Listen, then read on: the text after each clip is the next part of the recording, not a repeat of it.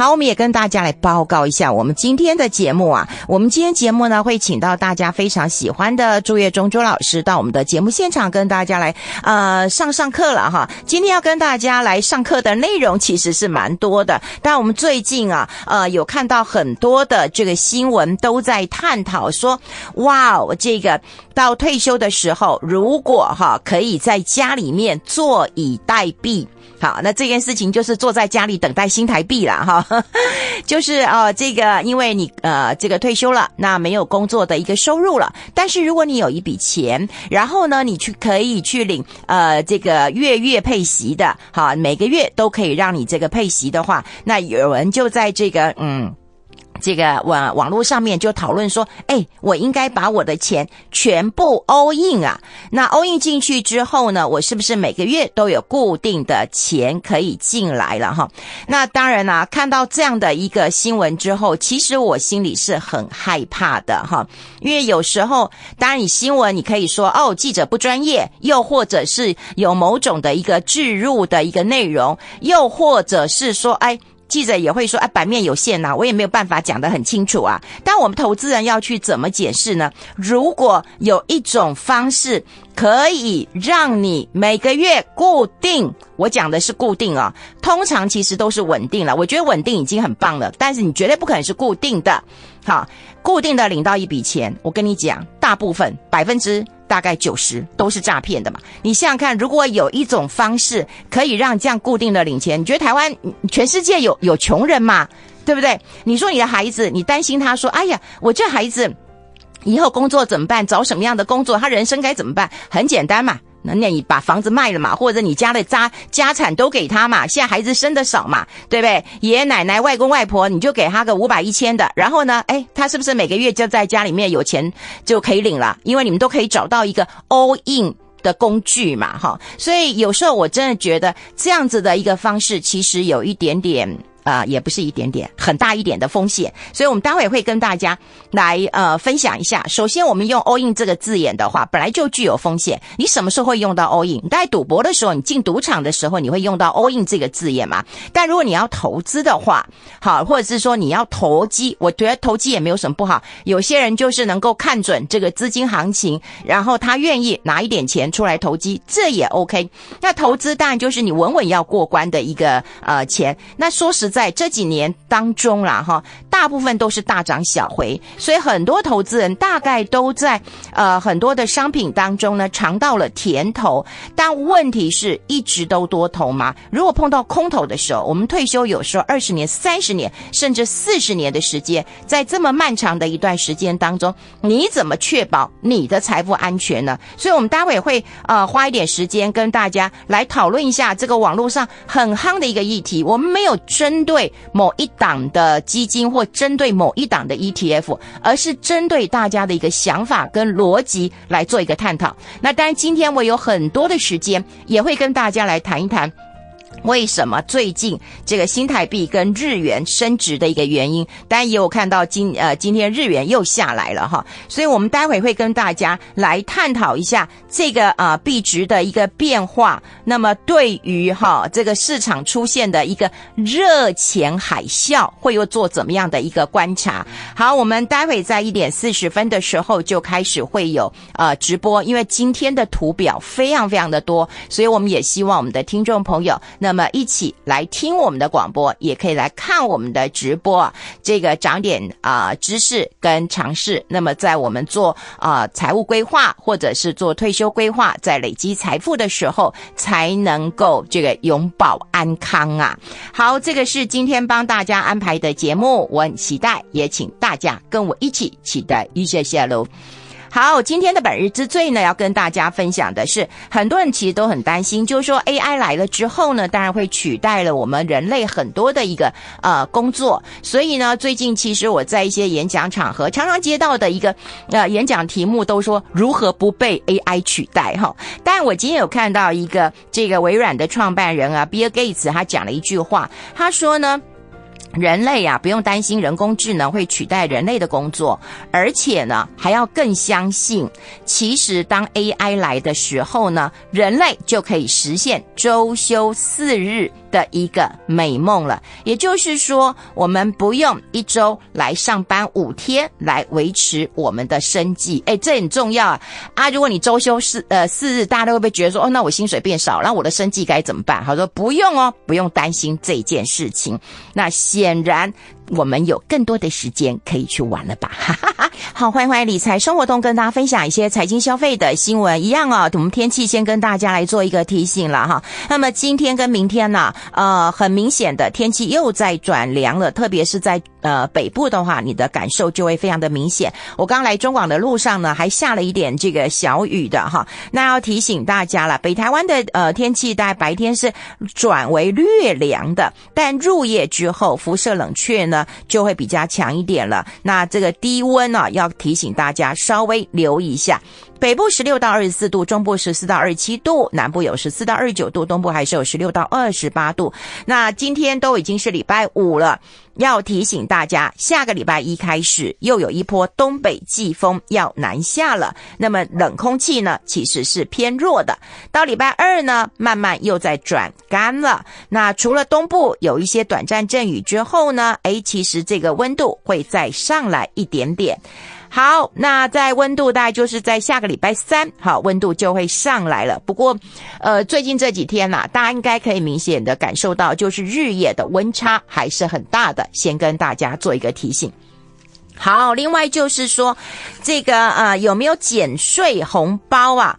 那行政院当然拍板了哈，就说有减税红包，那么三百八十二亿元，这个不是分给大家的啦哈。那么它是有一些税制的优惠，也就是说呢，我们基本的这个生活费呢，从十九点六万调升到二十点二万，那伙食费的免税金额呢，从两个月呃每个月两千四提高到三千，那综合所得税的免税额啦、扣除呃扣除额啦，跟这个课税的集聚有一些调整，所以呢，明后年的减税红包出估就是我刚讲的数字三百八十二亿元。我这新闻出来之后呢，其实大家都会觉得无感哈。那当然，会计师直接讲了没感觉哈，这会计师就会。觉得说，哎，政府啊一直强调说你免税税额啦、扣除额提高啦，哈。可是说实在的，有一些小资族哦，根本就不用缴税。为什么？因为薪资的调涨幅度根本赶不上物价的一个上涨，所以呢，一般民众其实是很难感受到减税的好处。所以呢，他们说一般人这个政府真不知道，大家其实是穷到。不用缴税，哈，所以这个呃，会计师认为这是一个哎，还蛮合理的一个说法了，哈。好，这个。啊，对于物价的一个上涨，的确哈，你只要去问很多的这个外食族，或者是啊，常常这个上菜市场的菜篮族，他们其实是非常的啊有感的啦。不过呢，嗯，这个呃政府啊的还是会认为说，嘛还好，跟其他国家比，哎，其实是还好的哈，可不能这样比法的哈，不能这样比法的。如果如果这样比的话，你真的就是不接地气。那不知道这个民间的一个痛苦了哈。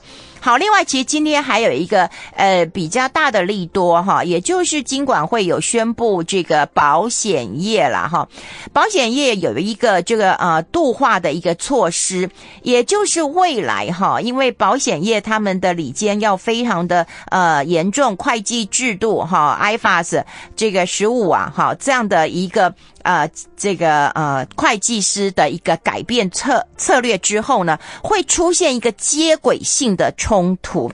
其实这个新闻我们大概在啊一年前哈就有讲过，说哎这个很重要啊，哈很重要，你这个保险公司你要怎么样增资，你怎么样调整你产品的一个结构，然后呢你要知道哈，就是如果如果真的没有管好，大家可以发现到哈，就是在过去我们跟这个张大帅在节目当中也讲过好几次了，为什么啊保险局会这么的几个紧张哈，就担心那。会计制度如果真的来了，然后你要调一个比较，因为这是要跟这个世界接轨的哈，所以这 iFAS 的一个新的会计制度就会让一些风险哈，一些风险大。幅大幅的一个呃提高。那如果说没有接轨好的话啊，又没有又没有增资的话，哎，保险公司真的是会出问题的。但现在他有说有一个。度化的过程，哈，就是有一个过渡化，哈，你就不能够说，哎，直接就跳过来。所以呢，它允许分十五年来认列这个呃缺口，然后不会让业者完全就是不配息。最近我们感受到的就是金管会对于啊，不管是金控公司或者是保险公司啊，越来越严格。也就是说，你不能够啊，有一些保险公司啊，你不能够拿你的资本公积出来配呃配息了哈。那资本公积大家呃。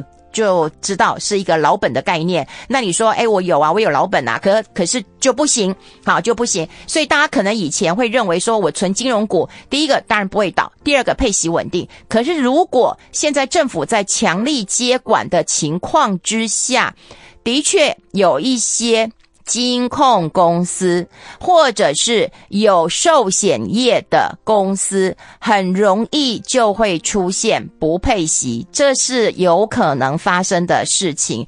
所以，我觉得投资最难的一件事情，就是我们过去认为想当然尔的事情，会因为政策的改变。当然，我们过去讲可能就是总金啦，好，总体的经济或地缘政治风险啊，或者个别企业，好，或者说你踩到防疫保单。总是有这种单一事件的一个冲击跟影响，但是我们都忽略有政府里监这件事情。如果政府的里监制度去严格的话，这也会让配息的政策有一些改变。所以你不要想当然说啊，得存金如果大家没事啊，好没事，以后会有事。好，我们会慢慢告诉大家的。好，一点半来看看台股的表现哈，台股其实就是粘在这里啦哈。那当然蓝白河破局之后，相关的概念股呢表现的也是比较失色一点。那么今天的盘面要做怎么样的一个观察呢？我们要连线的是永诚投顾的分析师李曙芳，曙芳您好，运芬你好，各位听众大家好。好，我们今天的盘要怎么看呢？因为看到就是呃有一些观光航空啊，好像不太行了。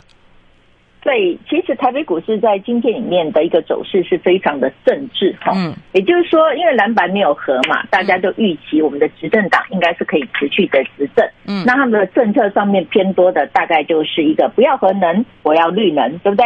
那第二个部分就是，呃，本身来讲话，整个一个色彩上面的问题，所以呢，大家就觉得说，哎，军工国防强大自己本身的力量上面哈，可能也是他们的政策之一。所以在今天里面，绿能啊，或是军工国防的概念个股里面，大概都是比较强的哈。像在这个过程之中里面，不管是我们看到了什么亚航啦、雅利啦、中心店哈，这都是整个一个军工国防概念个股。甚至电子个股里面在涨的，像核情控啦，或是呢，我们看全整个全讯的部分，也是军工国防的概念个股。那所以这个部分需要跟整个一个。我们来讨论基本面嘛，好像不需要，对不对？嗯，这个就是按照技术面去做操作啊，这是一个。那第二个就是台北股市在这一波从一万六千点涨到一万七千四百点啦，得给它细绑，给它背。那很多人在之前一万六就不相信会涨啊，对，那不都没有买，都没有买，都没有买啊，涨了一千点，我们说涨了一千点，很多人就会怕被嘎空手，被嘎空头嘛，对不对？嗯。可他现在进来，你说他去追高高的。他也会怕，所以他就开始买一些低位接的，这个叫落后性补涨个股。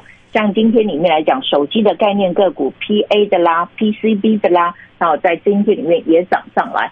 所以这个台北股市唯一要比较注意的是 OTC，是因为目前台北股市走的有点斜了，就是你不赚钱的会涨，你只要是低价的会涨，这有点点走的比较斜的一个情况之中，那这个。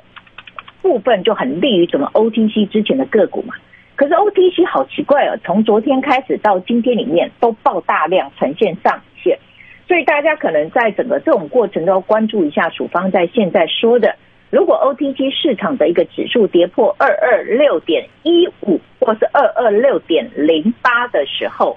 那你可能要去注意中小型个股里面后续里面修正的后坐力。那另外部分，昨天跟今天电子资金比重都占八成以上，都是谁占出来的？IC 设计嘛，尤其低价的 IC 设计。那如果它昨天、今天有高档爆大量，隔一天开低走低的一些低价 IC 设计个股，尤其是没有基本面的，那你可能也要有所谓的停利停损的动作哦。啊，哦，就是要快一点啦。呃，因为现在里面来讲，我就问大家嘛，现在亏越多的越会涨，运分你敢买吗？不敢啊，怪怪的。哎，对哈，所以这个中实户也一样，中实户他一买可能就是要几百，呃，应该说十亿以上进来，他敢买那种股票吗？也不敢。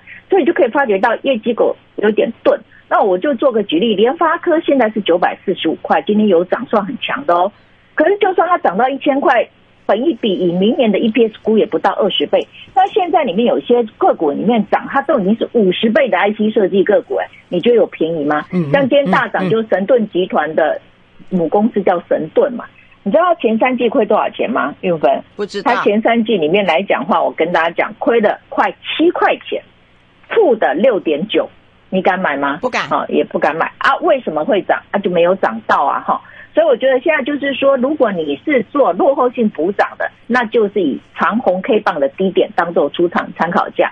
另外部分就是有赚，你要懂得跑，不然的话，在这种过程之中，你可能就会比较。陷入到没有基本面的个股的话，未来的修正就会比较辛苦一点哦。哦，哎，那现在我们到底要怎么样来观察？嗯，目前的利多跟利空啊，就看起来粘在这里啦。嗯，我觉得大家就放宽心嘛，按照自己的个性。如果你的个性就是属属于业绩成长股，那时间都会给你公道。我随便做个举例好了，二三二七的国巨，我那时候跟他说，哎，你喜欢长头，你四百多可以去买。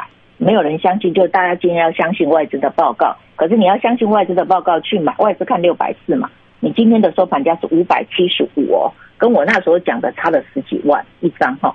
所以我觉得这个时间点里面来讲话，你就可以从，譬如说明年有奥运啊，那奥运我之前是不是讲一四七七的哈八比概念个股居然那时候三百，最高涨到四百。那你现在就可以留意一下运动鞋的概念个股嘛，哦，运动鞋的概念个股材料的部分是四七六六的南宝，啊，你说啊啊太贵了，一张二十几万，那你就去留意九八零二的预期，哈，那这一类型，那也有很便宜的四十几块，还有什么宝成这一类型，那因为你目前看起来他们的订单，因为奥运要在明年嘛，所以订单的能见度已经要先看到明年了，啊没没有啊。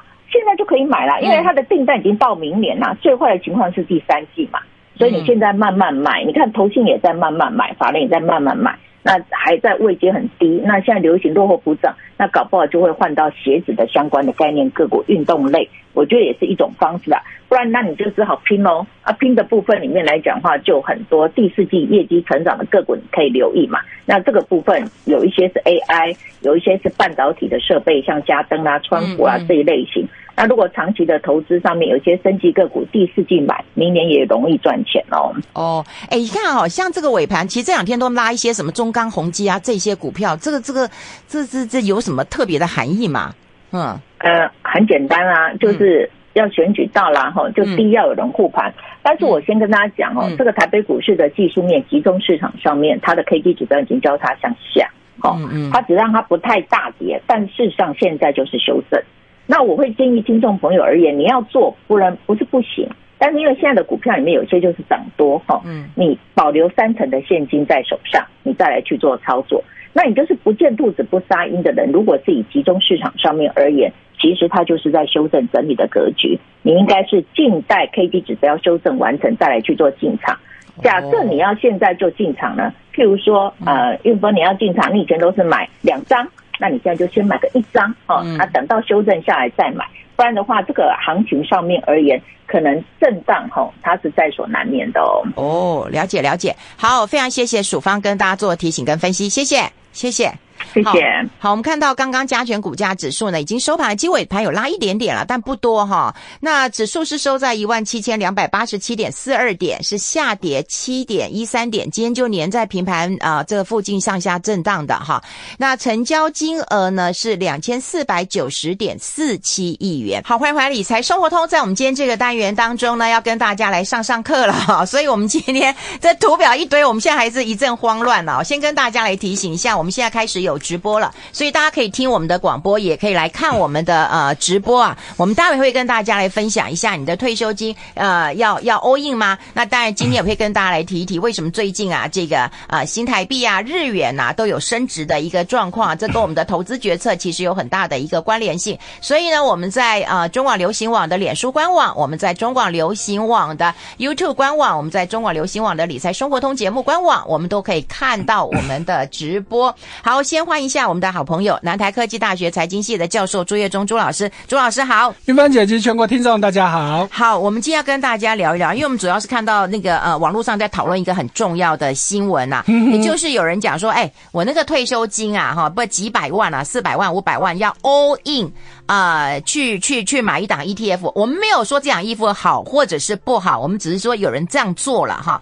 那呃，但是有人讲说，哎，他买在高点呢，哈，然后他就说没关系啊，我每个月都有呃配息啦，哈。我 all in 我会非常非常的害怕，哈，因为这心态上面，哈，就是去去赌一把的感觉了，哈。那另外就是说，你每个月有现金流，我们现在所有的这个啊 ETF 啊，大部分也都是在做每月配了，哈。你怎么看待这个 all in 这件事情啊？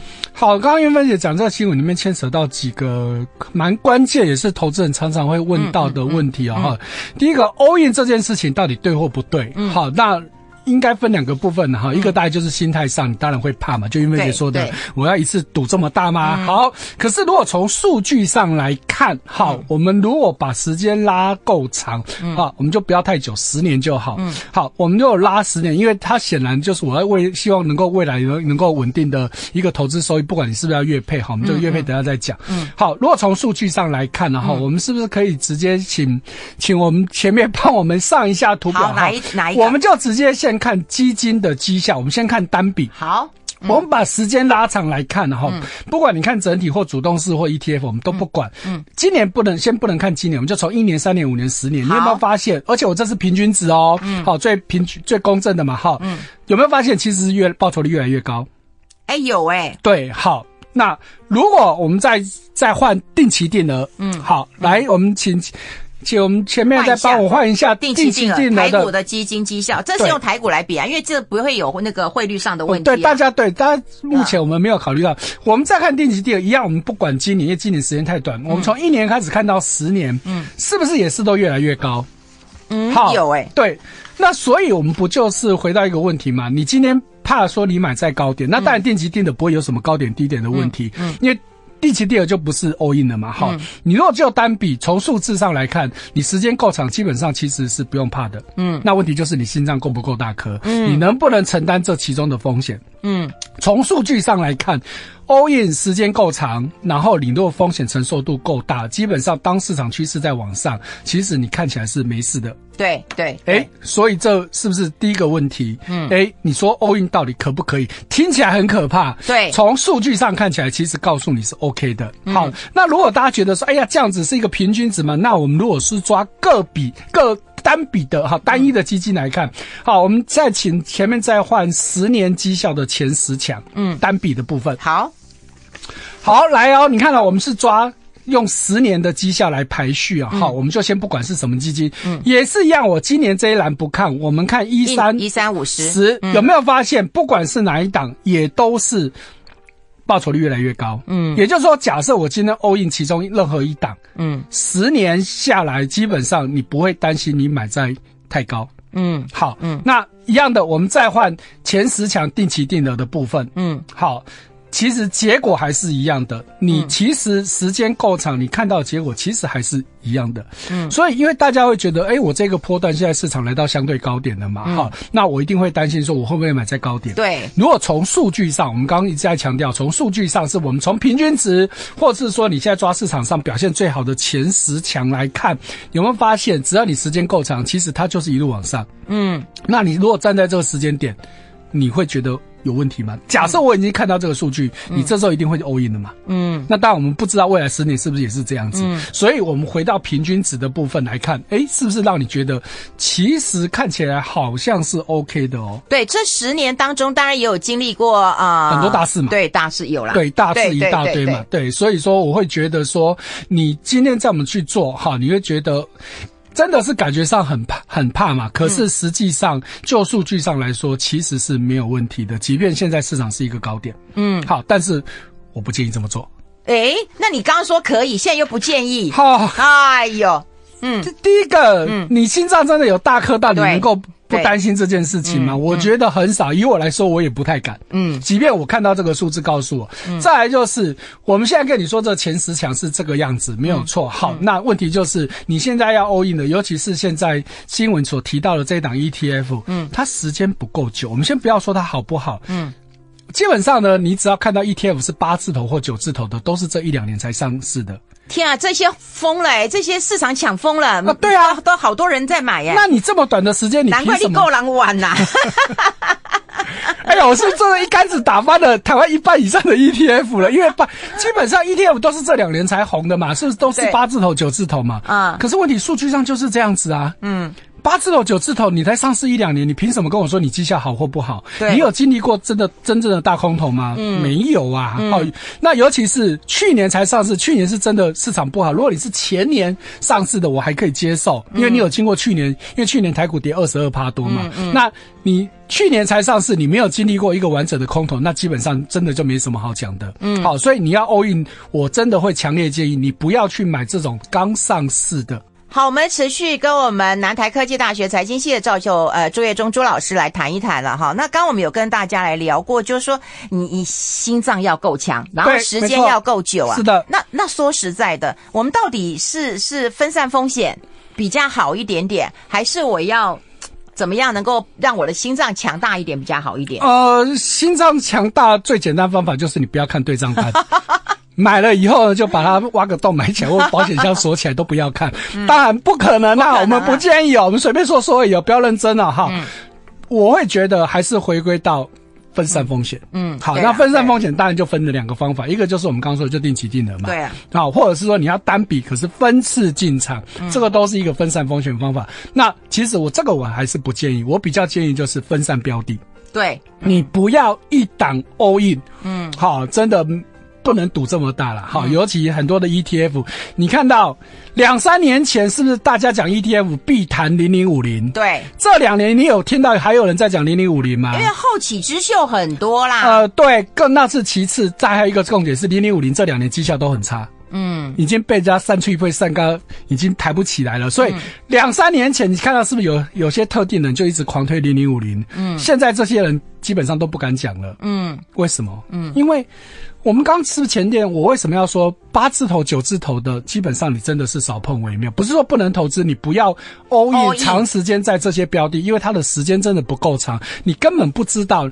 所有的这些在推荐者都是看图说故事，你看到现在的现象就可以说，哎呀，这个很好，这个很好。你时间够长的嘛？你经过大风险、大经过大空头的时候，你再来跟我说它真的很好。所以你看，我刚刚为什么我都要抓十年的资料？嗯，这才足以证明嘛。嗯，对不对？我们是不是抓了很多的资料在？再去佐证我们所说的事情，要不然我们绝对会被骂死嘛，对不对？我们说话当然要有凭有据嘛，所以我们我们必须回到前提哦，我没有说八或九字头的一定就不好，嗯，而是它还没有足够长的时间足以证明它真的好，嗯嗯。你现在看到的这些，不管什么财经网红啊、布洛克啊，甚至一些新闻媒体啊，基本上都在看图说故事嘛，嗯，因为只看到一个很短的时间，看到哎好像不错，那所以说你就说它好。好啊，怎么样，怎么样的？好，而且这是第一点。第二点是没有比较，没有伤害，就是我们过去常是说的。你为什么永远在 ETF 里面比来比去？你为什么永远要故意忘记主动式基金？主动式基金也是基金，ETF 也是基金啊。以前会喜欢买 ETF 是因为简单，因为只有零零五零、零零五六的时代，嗯，那就是就是跟啊跟，反正你跟来跟去就是那两三次在跟 啊。现在呢，那么多，哎，现在有两百多档 ETF，我们就不要说。总 total，我们就说跟台股有关的也都有四五十档以上，那。你说你怎么挑？嗯，如果今天这件事情是简单，就不会有看到一大堆的新闻，一大堆的网红，一大堆的财经布洛克都在讲怎么挑 ETF 的事情。嗯，反而现在几乎你不会看到有人在讲怎么挑主动式基金。嗯，因为相较之下，现在挑主动式基金其实比较简单。嗯，你几乎就是信任它的操盘能力嘛。我们把长时间绩效拿来看，你相信它的操盘能力就 OK 的嘛。所以回到我们刚刚说的。这就是 ETF 最大的问题吗？以前我们刚刚是不是说两三年前大家都会讲零零五零，现在为什么不讲了？因为现在市场大风吹，吹到这两年一零零五零就是不好嘛。嗯，那相对的，所以才会有其他的 ETF 上来了嘛。可是如果再过两年呢？嗯，谁知道？嗯，因为。ETF 它不像主动式基金，主动式基金经理人如果够 smart，他对市场敏感度够高，他的判断力够好，我可以顺势调整。ETF 不能调啊，对不对？ETF 就是要去追踪它所要追踪的指数嘛，那这指数不动它就不动，所以它才叫做被动投资嘛。嗯，那不就是大问题吗？那大家都知道，我们台股所谓的市场轮动是非常非常明显的。如果你对台股有概念的人，嗯，那今天轮到船产，明天轮到金融，后天轮到科技股，你 ETF 你能够跟着动吗？不能。那这就是最大的死穴。对，如果我指数没有这些，我怎么可以动？这就是最大的死穴嘛。嗯。可是主动式基金不是啊，经理人我可以看到市场趋势嘛，哈，譬如说你看到两年前航运股好，我压航运股，嗯，好，今年上半年 AI 好，我可以转到 AI 去，嗯，你 ETF 能这么做吗？嗯，不能嘛，你永远就是被动等着。可以再发一个新的 ETF 嘛？那原本那些人不就在那边等死？那就再换嘛。所以说了，所以说我觉得投资人真的要搞清楚这个盲点，ETF ETF 最大问题就是它。没有办法去调整嘛？好，那你没有办法主动调整，我们要这么讲，不能说不能调整，不能主动调整。所以台湾又偏偏就是市场轮动非常非常明明显的市场。嗯，那所以永远有 ETF 领先，永远有 ETF 落后。嗯，那你喜欢这样子吗？嗯，我今天看这些领先，我就去买它。嗯，那明天看那些 ETF 领先，我就去买它。好，那当然很多。这个投资人就说：“哎呀，你主动资金难道不会有绩效落后的时候吗？会啊。可是你看到它的好处就是，当我看到我落后，我就会赶快检讨我问题，我为什么输人家嘛？老板会先检讨你。哎，说得好。所以你看到我们刚刚为什么给大家这个绩效前十强？嗯，你有没有看到？如果你看到他今年，我们不要看他十年。我我们刚刚给大家看的这个前十强的基金，我们来看一下今年以来台股基金绩效前十强，前十强单笔的这。”这一好来，大家可以看到哈，你看到这些今年前十强的，你再去拉它过去的绩效，是不是真的好？嗯，好，或者是如果我们再看到十年绩效的前十强，嗯，哦，也就是说两个去对比，嗯，一个你是只看今年，好，那就像你现在只看一天，你只看今年，嗯，好，来，我们请他再换一个十年绩效前十强，嗯，单比的部分，嗯。单笔的部分，好，我们这个十年是用十年的累积报酬率去去看，可是你反推它现在今年的报酬率，你会发现它其实也不差，嗯，而且你特别看到我这张表里面有一档是颜色不一样，这一档我特别标出来，它是 ETF，可是有没有看到它不是现在大家所熟知的 ETF？哪里？你又在哪一个啊？哎，这个啊，富邦台湾科技指数。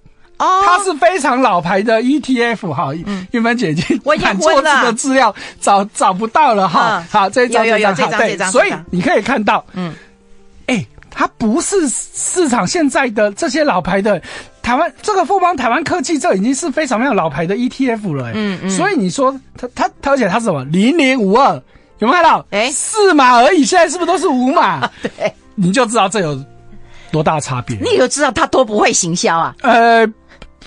这有我我不想这你要打电话跟富邦问一下哈。